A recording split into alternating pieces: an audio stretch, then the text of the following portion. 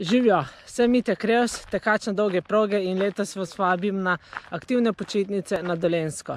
Predvsem na naše gorjance in dolino pod njimi, ki vam ponuja ogromno kolesarskih, tekaških in pohodniških poti. Če ste ljubitelj narave, sem prepričan, da boste našli nekaj zase.